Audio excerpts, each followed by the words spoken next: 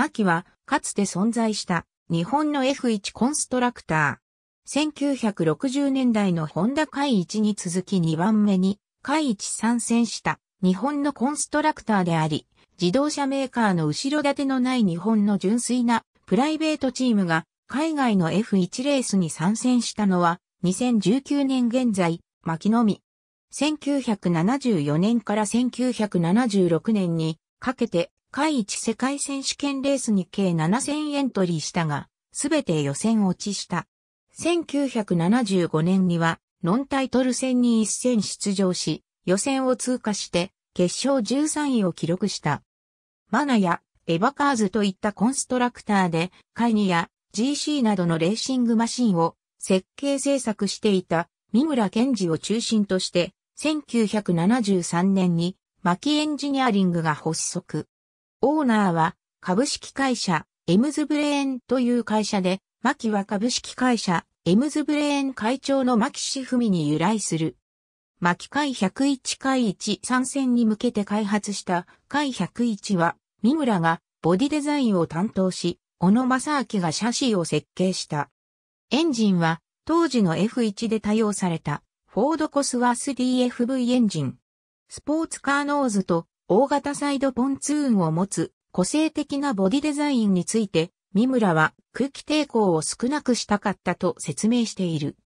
小野は実物の F1 マシンを見たことがなく、ずうずうしくも別に本質的にはグラチャンマシンも海1マシンもそう変わるものではないなと思っていたという。小野正明は海101の設計の際、ティレルのデレック・ガードナーにコンセプトの相談をした。スポーツカーノーズでフロントタイヤをカバーし、カウル全体で気流を整えるコンセプトに関し、海101とティレル P34 はよく似ている。もしかしたら、ガードナーはマキに影響されたのかもしれないと述べている。車重もレギュレーションの最低重量を数十キログラム上回っていたというが、三村は安全性に関するレギュレーションを正直に守ったためと説明している。1974年3月にイギリスのホテルで海一参戦発表会を行い、白地に日の丸のナショナルカラーをまとった海101を公開した。ドライバーはハウデン・ガンレーと早見翔。極秘プロジェクトとして早見をはじめチーム関係者は変名あるいは偽名を名乗っていた。変名を名乗った経緯について、三村は自分の実績が大したことがないので、会一をやるとなると、日本の関係者に何を言われるかわからなかった。批判や横槍を入れられる可能性があったなどと説明している。記者会見では、エンジンの自社開発計画も示したが、オーナーのエムズブレーンの経営悪化により、資金不足に悩まされるようになった。自動車メーカーに頼らないプライベート体制での F1 挑戦は苦難の連続となり、海1シリーズ全戦出場は不可能になった。チームは元霊の進言で海101を軽量化するなどの大改造を行った。早見翔は実績不足とみなされ、海1出場のためのライセンスが発給されず、テスト走行を行うだけに止まり、海一の実戦には出られなかった。元霊の一大体制で、第10戦イギリス GP に初参戦するが、トップから4秒落ちのタイムで予選落ちを喫する。続く西ドイツ GP 予選中には、事故でマシンが大破し、元霊が両足を骨折する重傷を負った。特注品のピロボールが破損し、リアサスペンションが故障したことが事故の原因だった。海一参戦初年度の1974年は上記2戦のみ、エントリー、2戦とも予選不通過で終わった。2年目の1975年、新たにシチズン時計をスポンサーとして、マキエンジニアリングからマキレーシングへと組織変更を行った。1974年に製作した車両を回収したマシンを使用して海一世界選手権ヨーロッパラウンドの4戦にエントリーした。オランダ GP とイギリス GP には、藤田博士、西ドイツ GP とオーストリア GP には、元イギリス界3チャンピオンのトニー・トリマーを起用したが、決勝レースへの出走は叶わなかった。オランダ GP は予選再開で決勝進出可能だったが、故障したエンジンのスペアがなく、出走を断念した。1975年に、牧で、海一に参戦したことにより、藤田は、海一世界選手権にエントリーした最初の日本人ドライバーになった。世界選手権以外では、フランスのディジョンサーキットで行われたノンタイトル戦の F1 レースで予選通過し、決勝13位の記録を残した。この年をもってチームは一旦活動を休止し、小野は小島エンジニアリングの F1 マシン、ケ007開発プロジェクトに参加した。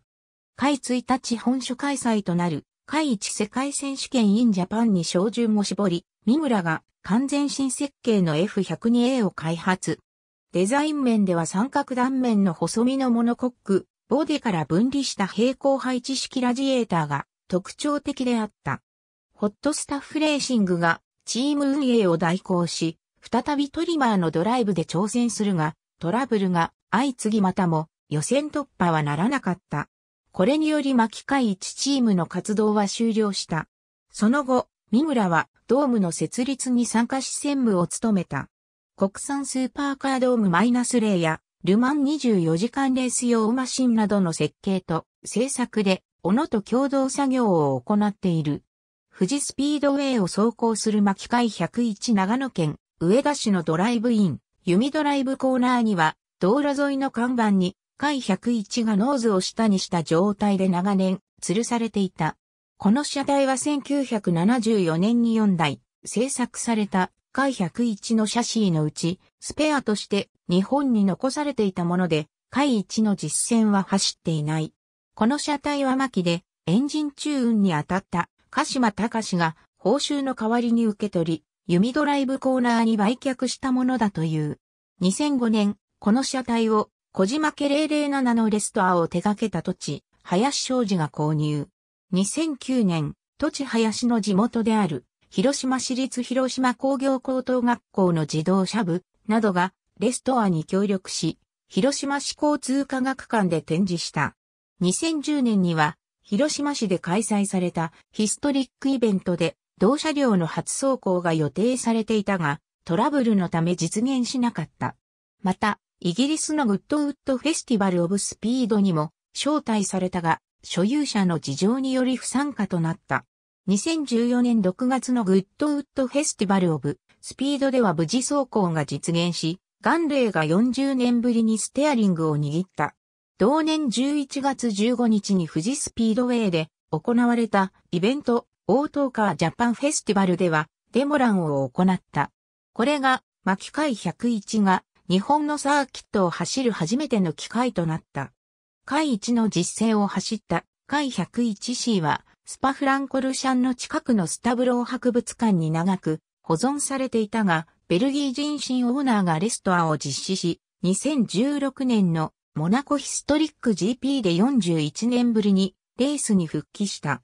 2017年11月には鈴鹿サウンドオブエンジンのため日本に運び込まれ、鈴鹿サーキットを走行した。海1世界選手権 in Japan にエントリーした海 102A については、レース終了以降その所在が不明となっている。ありがとうございます。